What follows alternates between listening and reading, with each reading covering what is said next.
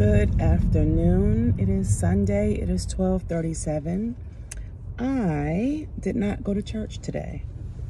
I woke up and my back was not right. So I ate my breakfast and I went back to bed. And I'm out in these streets now um, because A, I took an aspirin, a naproxen. Um, and I had to come out and get me that salad from Salata. That's 20 doggone bucks for a small. I think I showed y'all this once before. The small salad. Yeah. that is a small salad. And this will pretty much hold me for the rest of the day. Um, oh my goodness. I got the same stuff that I got last time, except I add, added banana peppers. I got the smoked turkey and the spicy shrimp.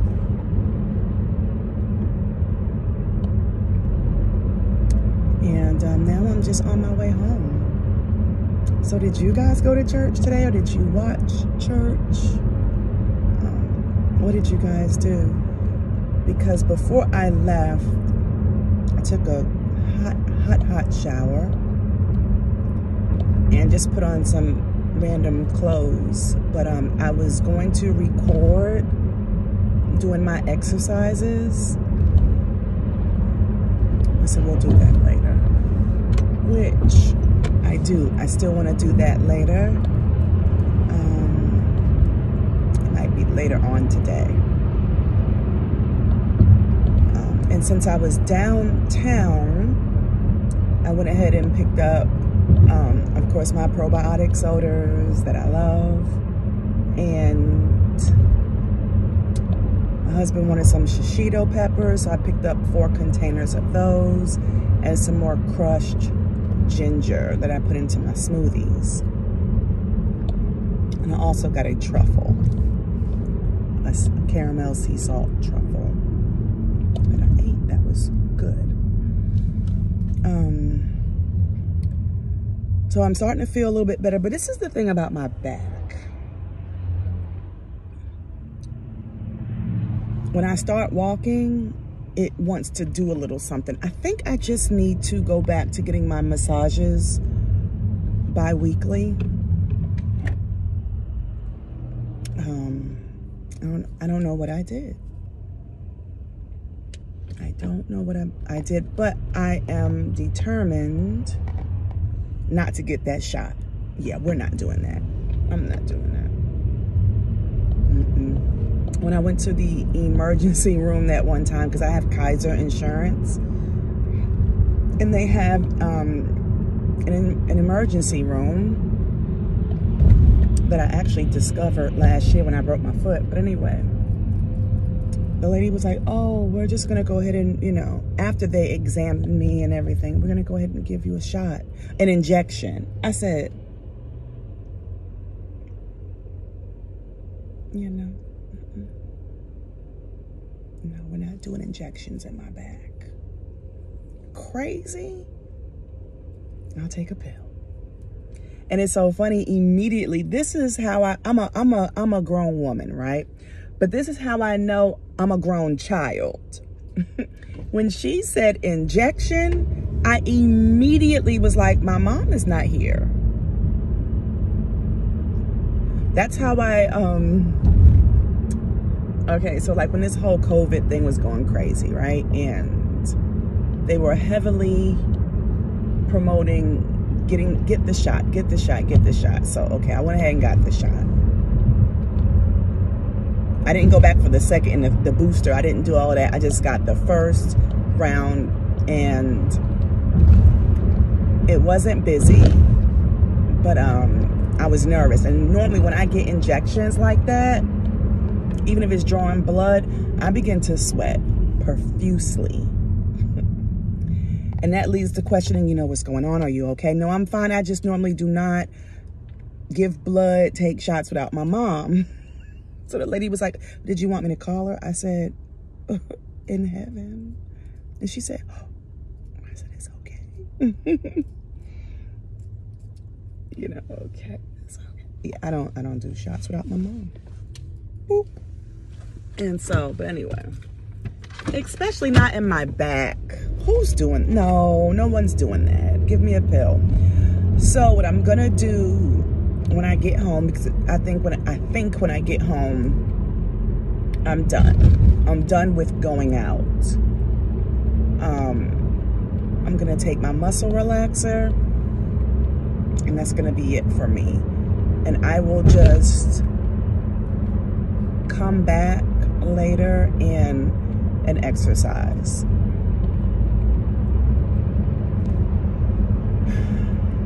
Cause I just I just don't wanna aggravate it and I think I need to kind of let it relax just a smidge before I do anything, which really the exercising doesn't too much bother my back at all. I mean, it's squats and it's upper body, but the upper body, I wish I had some, um, some five pound dumbbells. The eights are not heavy, but just to, you know, really take care of my back. But, um, yeah, I'll do them later because I'm feeling actually a lot better. And I just got notification when I was in, when I was coming out of Trader Joe's, because I went to Trader Joe's and Whole Foods um, as well. Um, I got more lip gloss. I know. Don't you have enough? I do. But why do you keep buying them? I know. I know. I want to hear it. I already know. So, yeah. And next week, I have to start shopping for um, Thanksgiving because we're not doing turkey. We're doing Cornish hens. Like my family loves Cornish hens and I love them too. It's less waste than having a big behind turkey that's half eaten. So, I know my oldest daughter said she's doing the stuffing, but she does an amazing stuffing. I'm doing the Cornish hens. I think my my youngest daughter, is going to do greens. She did greens when we went to Disney. That was two years ago. She did them good. But she says, Mommy, they were good because you took over. Well, you wasn't minding the, the. I don't know what to tell you, but anyway. Um, and then, you know, she doesn't make a lot of money, so I try to be mindful. And greens are cheap, right? You just really need the the um, smoked turkey and the greens, and we have everything else at the house seasoning. But really, we don't even season our greens because the smoked turkey puts all the flavor in our greens. And then our greens don't take three hours to cook. Greens be done in like 45 minutes to an hour you still want a little bit of a, a bite to them, but I don't like soggy greens. Oh, and my kids also like when I cook cabbage.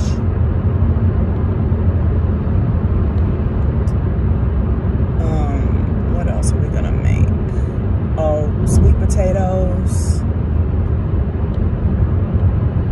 It's the same thing every Thanksgiving. And my husband is going to do I don't know. I got PTSD when it comes to my husband doing things for Thanksgiving because for years, and like last year we started doing like a what you call a um a bake off. I won the bake off last year. But he makes these desserts from scratch and they would be good if he doesn't. He always misses and omits, not on purpose, a key ingredient and it's normally something significant like sugar. So you eat his um his uh what do you call like what did he make? Um like a peach pie. Where's it? It's like a diet peach pie. It's just he always misses something. Um and that's been every year he misses a key ingredient. It's so funny. So I need to remind everyone that we are doing a bake-off again this year.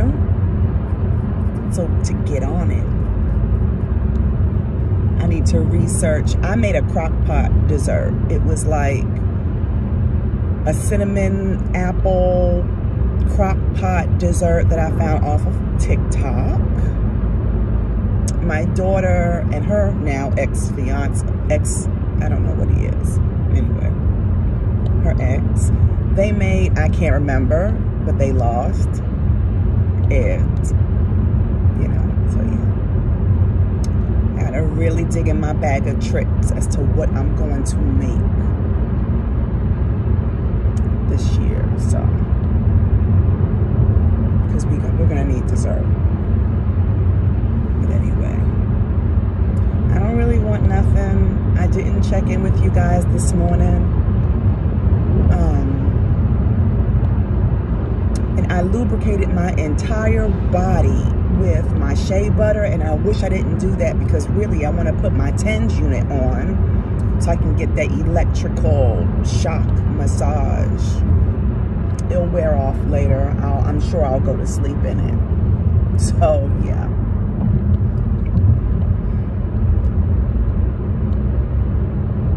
I'll probably stretch. It's necessary. But anyway, I'm going to go. Because um, I'm almost home. I'll be home in about 10 more minutes. And I'm currently listening to just a panel of older women, women, talk about this whole Ernesto Williams situation, the guy who's married. I don't know if he's married to her or not. I don't know. Shirley Strawberry. I know you know Shirley Strawberry. But anyway, if you don't know, Steve Harvey, everybody knows Steve Harvey. You know, he has a morning show one of his co-hosts is Shirley Strawberry, Strawberry, who is married allegedly to this guy named Ernesto. And he's in prison for a whole slew of, they're saying that he's a scammer, basically. He scams people out of their money and whatever, but there is some CP charges that has just come up and there is a channel called Phone Calls from Prison, who I'm subscribed to, that she just kind of gets these phone calls that these criminals are making to loved ones and whatever. And she plays these phone calls, you guys. And Ernesto, Ernest, whatever his name is, is talking to side piece. It's a mess, y'all. It's a mess. I've been kind of listening to that and getting updates on that because it's so so scary and silly and sad. And, um, and of course, everything is taking place here in Atlanta. Atlanta is the hub of everything foolish. I love, I love the city. Anyway, I'm down the block from the house. I'm gonna go. And um, yeah, I'll see y'all a little bit later because I am going to exercise later. And I love you guys all so much. I hope that you are having a productive day. Uh, tomorrow we go up. Our rep count goes from 15 to 20. And that's another reason why I need to lay my tail down and get about these streets. Because um, 2020 is going to be interesting. And then I really need to look at the calendar because with the holidays coming, I'm just not sure of what this exercising schedule is going to look like, but stay tuned for that. So yeah, I will talk to you guys later. I love you so, so much. Don't forget to like, comment, and subscribe.